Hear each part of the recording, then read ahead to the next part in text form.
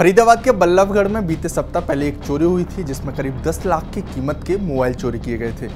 अब इस मामले में नया मोड़ आया है। आइए आपको इस रिपोर्ट में बताते हैं। नमस्कार, मैं हूँ देवेश यादव और आप देख रहे हैं टीवी नाइन।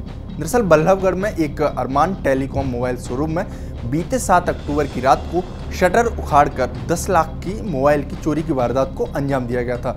चोरी की पूरी वारदात शोरूम में लगे अलग अलग सीसीटीवी कैमरे में कैद हुई थी। और इन्हीं फ़ोटोज़ के आधार पर अब चारों आरोपियों को फरीदाबाद सेक्टर पिचासी की टीम ने नेपाल के बॉर्डर से मोबाइल सहित गिरफ़्तार करने में बड़ी सफलता हासिल की है। जिन्हें पुलिस ने पाँच दिन की रिमांड पर ले लिया है और पूछताछ चल रही है। बल्लभगढ़ के अंदर सात और आठ अक्टूबर की रात को एक मोबाइल की दुकान में अरमान टेलीकम्युनिकेशन नाम की एक दुकान थी जिसके अंदर चोरी की वारदात को कुछ अनजान चोरों के द्वारा अंजाम दिया गया था।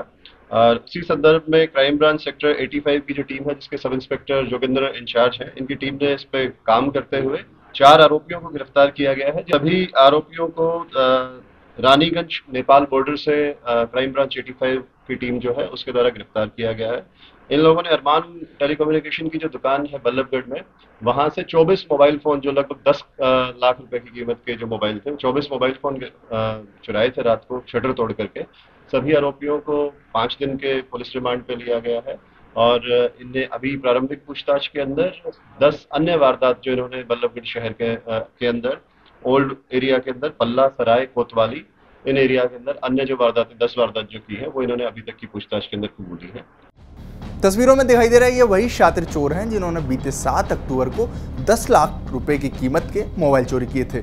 इनमें मास्टरमाइंड रोज मोहम्मद, जिसकी उम्र 21 साल है, इसके अलावा अम्बे उर्फ़ छोटू, इसकी भी उम्र 21 साल है, अस्तित्व राज, ये 18 साल का है, इसके अलावा सन्नी की उम्र 26 साल है, इन चारों को गिरफ़्तार किया गया है।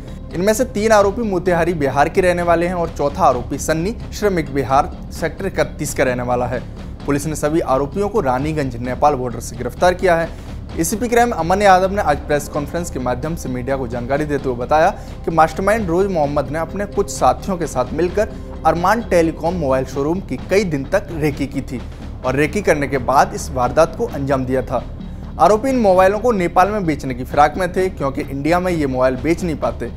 आरोपियों ने मोबाइल शोरूम से कुल 24 मोबाइल फ़ोन चोरी किए थे। पुलिस के मुताबिक ये आरोपी काफ़ी शातिर हैं। इससे पहले भी इन्होंने 10 वारदातों को अंजाम दिया है। बहरहाल, पुलिस मामले की जाँच कर रही है और अगले पाँच दिन बाद इन्हें फिर कोर्ट में पेश किया जाएगा।